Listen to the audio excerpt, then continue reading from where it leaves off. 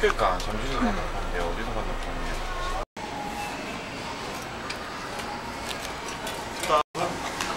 이걸.